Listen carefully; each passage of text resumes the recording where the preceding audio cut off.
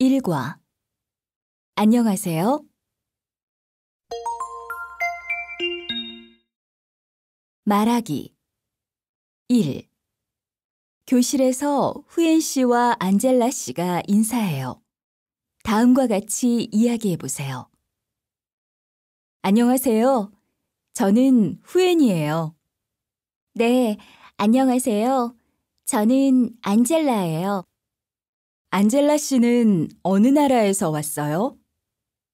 필리핀에서 왔어요. 안젤라 씨, 만나서 반가워요.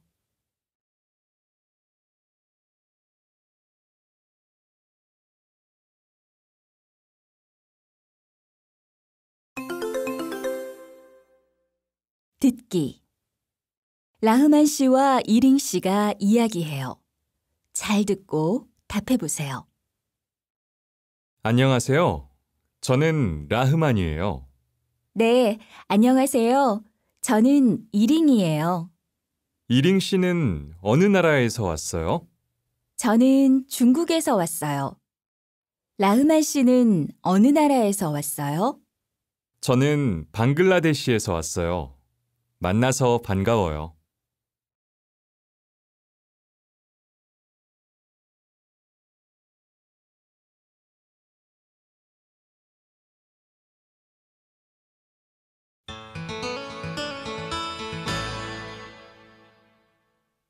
발음 1. 다음을 듣고 따라 읽으세요. 1. 이름이 2.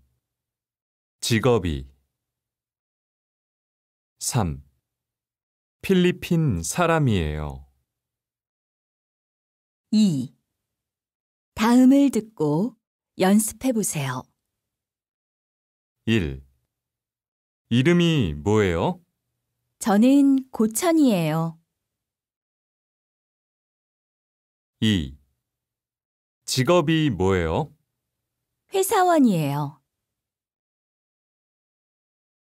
3. 어느 나라 사람이에요? 필리핀 사람이에요.